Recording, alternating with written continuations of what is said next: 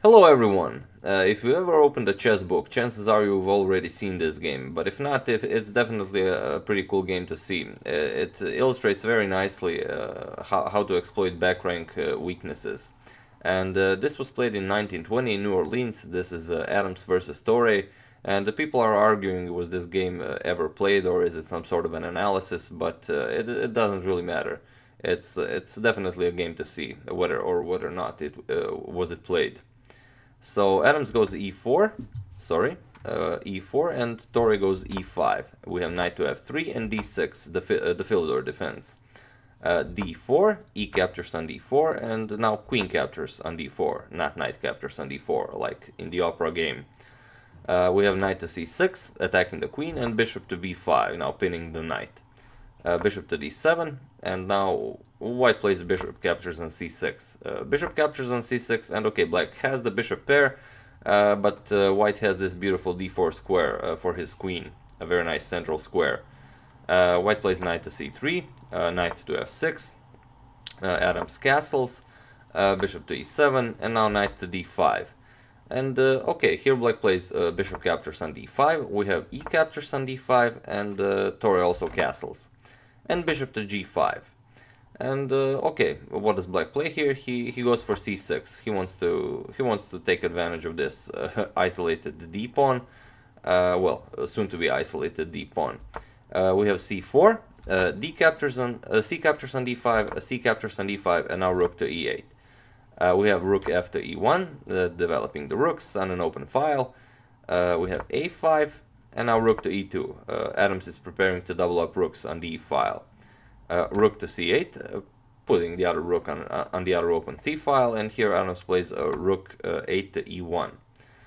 And, well, um, Black's idea now is to play queen to d7 and uh, after the bishop moves uh, and rook captures on e8 so rook captures on e8 so the queen doesn't have to capture on e8 which would be silly. So he plays queen to d7 and uh, here Adams plays bishop captures on f6. We have bishop captures on f6 and now uh, this is the idea Torre had, that if rook captures rook, uh, simply rook captures, rook captures, queen captures, and, uh, well, uh, with a threat of uh, queen to e1, this bishop is very nice attacking b2. Uh, this would be perfectly fine for black, probably probably a drawn game.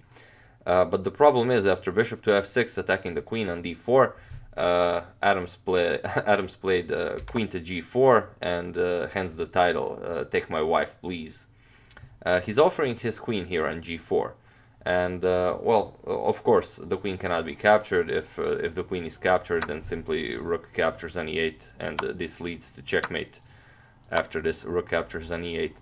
So uh, after this uh, queen to g4 move, uh, black can't capture. So he, he played queen to b5. And, well, here the queen is defending the rook on e8 and, well, also attacking this rook on e2 now. Uh, but here Adams plays a queen to c4, now offering his queen on c4, and uh, again black can capture with the queen or with the rook on c8. Uh, but whatever black plays here, if he captures the queen, he gets mated on e8.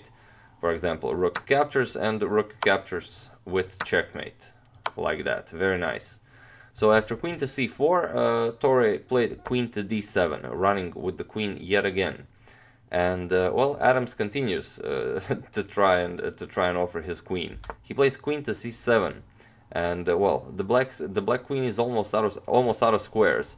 Uh, again, if if the rook or the queen captures uh, the queen at c7, black gets checkmated on e8.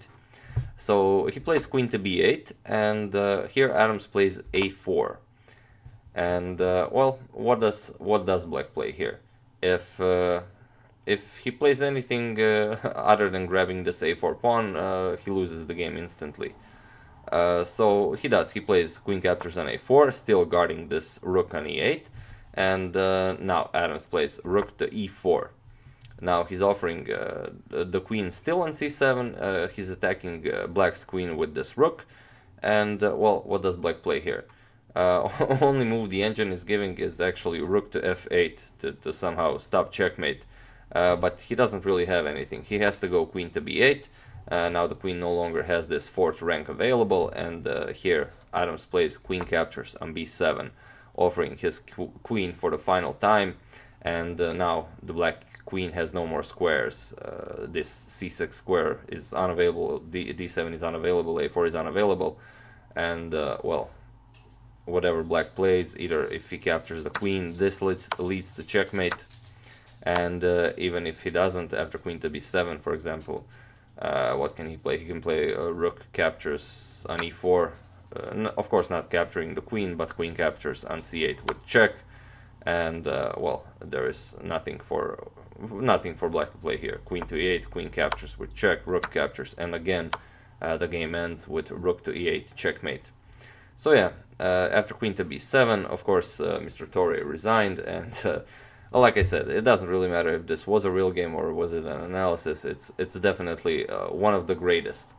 So yeah, uh, this was a short one. I hope you enjoyed it. as usual, you can check two of my previous videos here. thank you all for watching, and I'll see you soon.